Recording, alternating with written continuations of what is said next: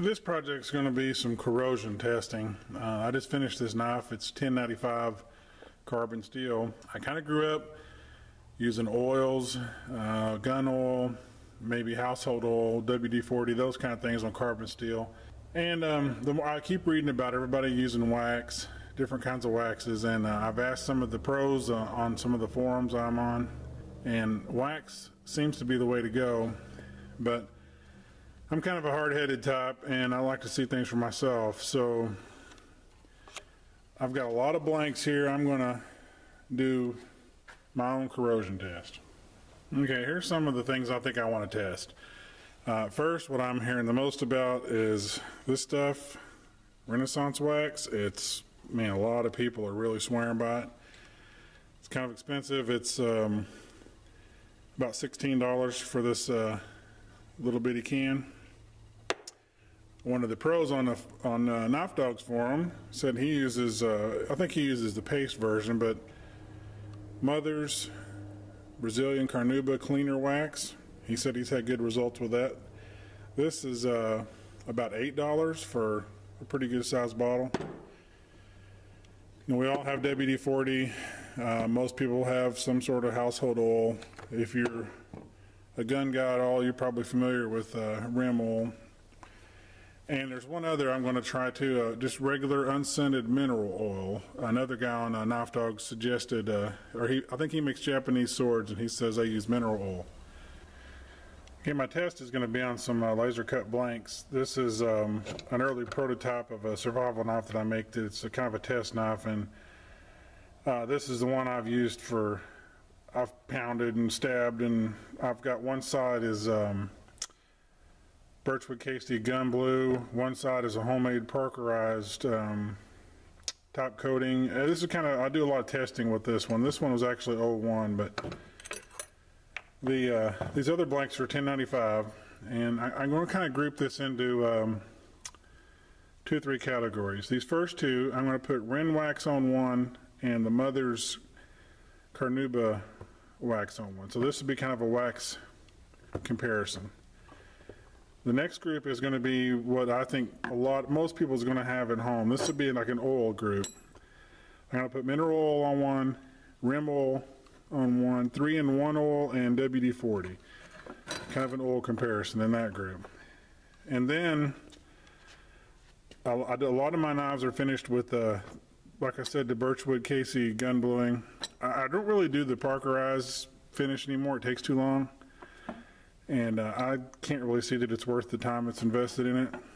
But I'm to kind of narrow it down. I want to see how a blued blade reacts with uh, wax and oil. So I just picked uh, Ren wax and Rem oil as the two I'm going to compare for a wax versus oil on a blued finish. I also do some of my knives with uh, acid, the ferric chloride. Same thing, I want to compare a waxed ferric chloride and a oil ferric chloride. And I'm going to have one untreated knife that'll be my control. But for right now, I think that's going to be a pretty good comparison. It'll let me get, you know, decide which of these two waxes are the best, which of the oils are the best, and then how they react to uh, different kind of surface treatments. I think I'm going to uh, abrasive, just put all these in my abrasive blaster. I use a, uh, a black oxide type uh, blasting media. I think I'm going to give them all the exact same blasted finish as a baseline to start with. Okay, I've got them all pinned onto, uh, I guess, some little panel nails just so they don't move around. I got them all put on a old scrap piece of 2x12 and I got a section to test waxes, oils, blued, and uh, acid finishes and then the one on the right I will leave uh, with nothing on it just as a example of unprotected 1095.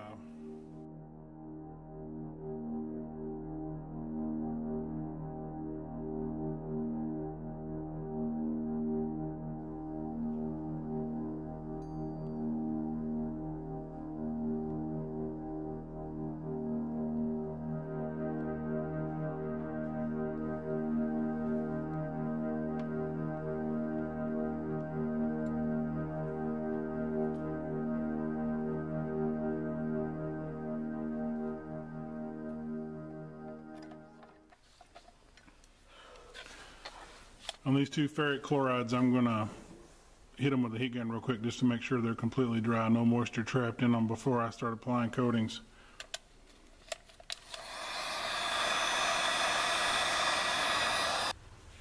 Now for the oil part of this test, um, as a maker, I usually, um, if I'm using oil, I go ahead and soak it down with oil real good and let it set for, you know, sometimes overnight, just really heavy with oil, then wipe off the excess in the morning. So I think I'm gonna do kind of the same thing.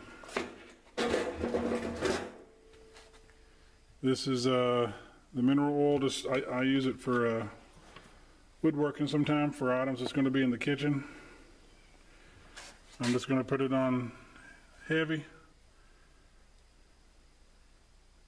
Just let make sure it's soaked in for good for a while. Same thing with the three in one. I'll just put it on heavy, let it soak in. The uh, Rem oil and the WD-40 will be easy. You can just spray those on. All right, they're all dripping wet. A heavy, heavy coat of oil. I'll let them soak until tomorrow and I'll wipe off the excess in the morning. This is the Ren Wax and the ferric chloride coated blade. And to be fair on the waxes, uh, again as a maker, I'm going to put I'm going to put more than one coat on before I ship something out. So I'm going to uh, put a coat on, let it dry, buff it, put a coat on, let it dry, buff it. I'm probably going to put three different coats of both of the waxes. That way I know it's got a really good base coat of wax on there. I'm not going to put it on thin, thick, just three thin coats. And now Renwax, Renwax for the um, just the blasted steel finish.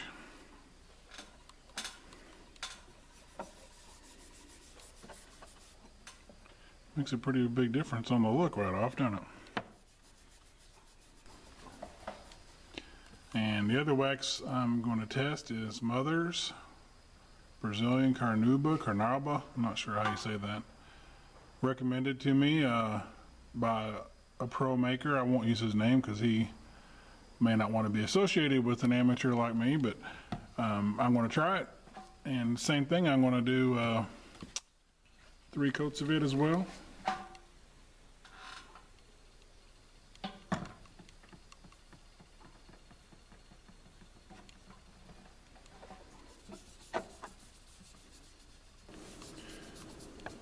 I use Birchwood Casey Super Blue.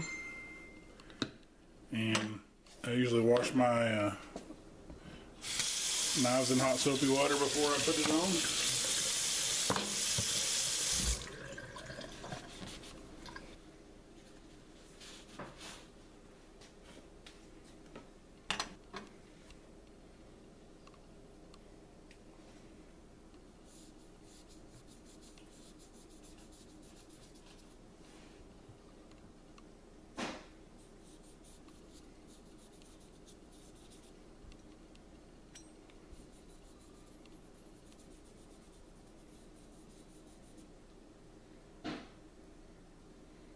And follow the instructions, you let it set for a little while and rinse and repeat.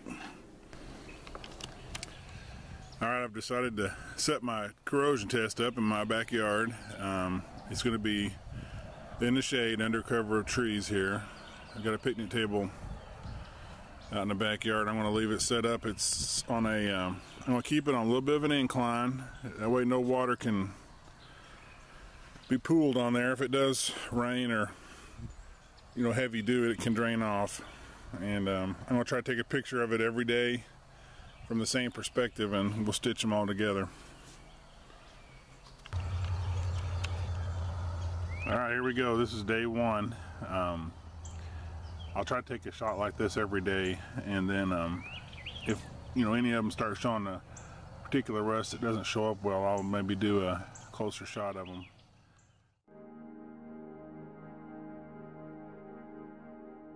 Today's 11 days. Um, I'm kind of surprised so far. I really thought there'd be more rust showing on these. Uh, the just the untreated one, and I'm trying real hard not to touch them anywhere that's is going to show. But It's actually not that bad yet. It's got some spots showing on it. So you think about it, if the, the one that has nothing on it is not even been affected too bad, then uh, obviously the rest of them are probably holding up pretty good. I don't know, between the bugs and birds and squirrels and everything else, a couple of them appear to have uh, little spots on them, but I almost think they're just dirty, they're just from junk falling out of the trees. And I had picked bird feathers off of them once already, so the uh, two wax ones, I don't see anything on either one of those. There's a couple little specks here and there that I, I they almost look like dirt, but I don't want to touch it and brush it off. I'm afraid I would affect the test. The two blued ones look look really good. There's one little spot right there that might be kind of a start of some rust. And the two ferric chlorides, they uh, they look really clean. I don't see nothing on them. It's amazing. I can leave a knife sitting on my bench in my shop for a couple of days and it'll rust. These have been outside. This is 11 days and they all look pretty dang good.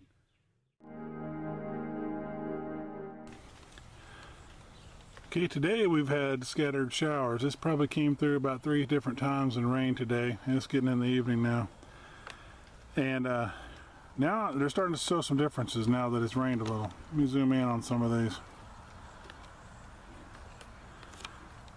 The first one there is uh, Ren wax.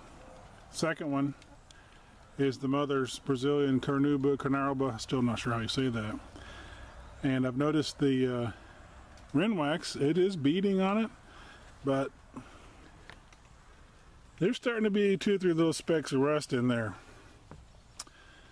The second one here is uh, the mother's, the automotive wax, and it seems to let the water kind of sheet off. It's not beading, but there are a lot of little speckled uh, rust spots showing in there. I'll zoom in and see if you can see it on there.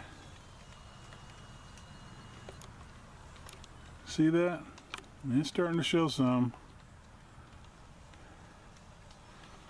Now on the oils, um, the first one there is mineral oil, and it's got a lot of rust on it. The three in oil, three in one oil is actually the second one's doing better than I thought. I don't really see too much going on on it. Third one is Rem oil. I had higher hopes for and the one on the right is WD-40 so just based off of today in the rain mineral oil 3 in 1 Rem oil and WD-40 the WD-40 and the 3 in 1 seem to be doing way better so on my uh, blued pieces they actually the one on the left is uh, Ren wax, the one on the right is Rem. I don't see any rust on those at all. They look good.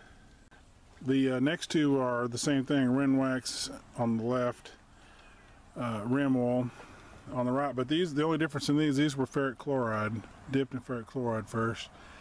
And it's kind of like the other ones. There are some spots showing on those. The uh, wax on right here, it looks pretty good. There's a couple little spots showing. And the, the Rem oil, it's got some spots showing on it.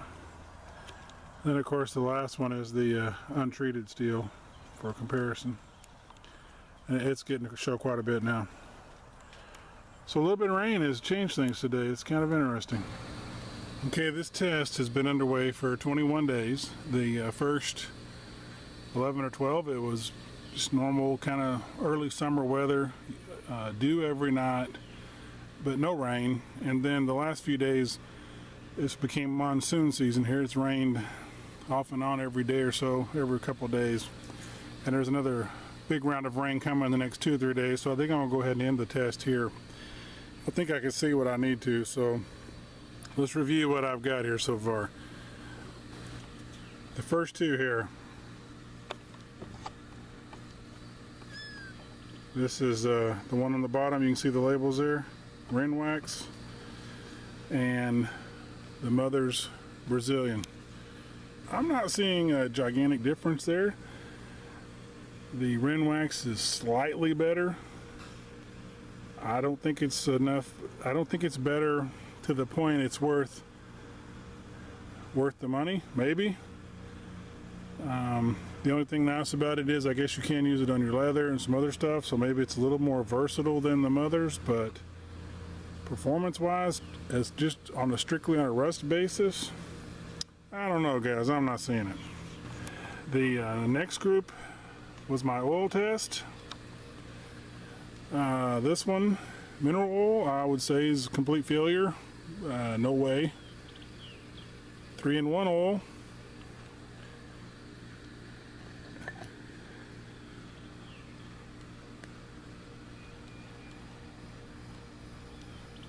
Yeah, it won't focus. Guys, that's pretty dang good.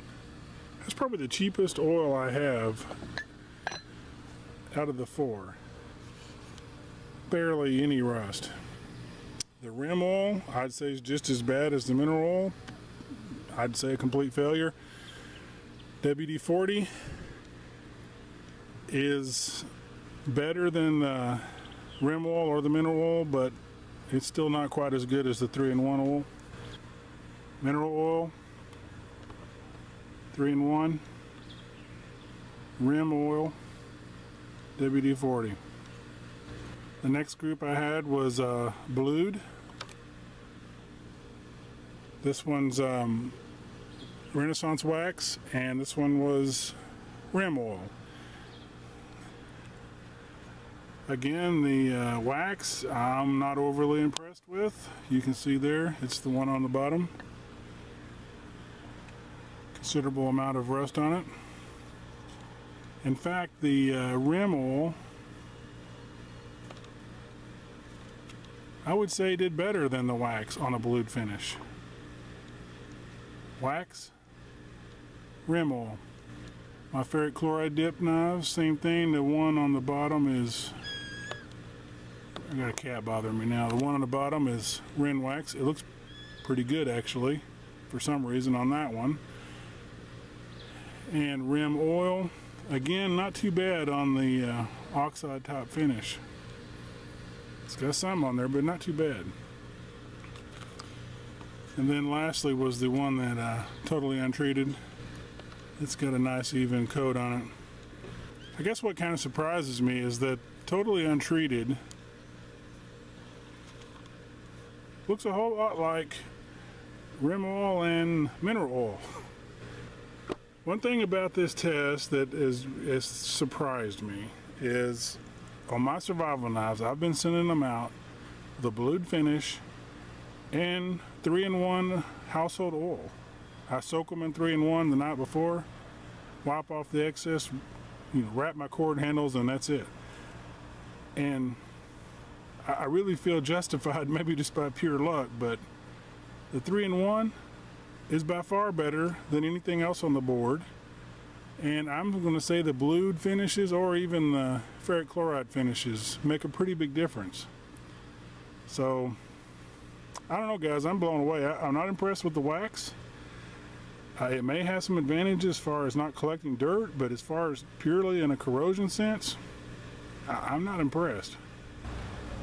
I did want to say a little about the test. Um, I may, may, not have explained earlier. These uh, blanks were all laser cut from the same sheet of 1095 from the New Jersey Steel Baron. They were all, I put all of these in a stainless steel foil pouch. They were all annealed together at the same time in the oven. They were all uh, abrasive blast and treated all the same night. So they're, they're, I tried to do them as good of a comparison as I could. They are not hardened. I wonder how this test would be if you had this many hardened uh, blanks up here. It may be a little different, but I'm going to say that the test would still be, uh, I don't think the results would change that much. I think the abrasive finish gave them the uh, best chance for success. You know, that, that rough surface allows it to hold the wax and the oil. So I, I, I feel it's a pretty good test, you know, open to opinions, but it's the best I could come up with, and, you know, the best way I could think to do it. So I'm, cur- I'm curious to see what people think.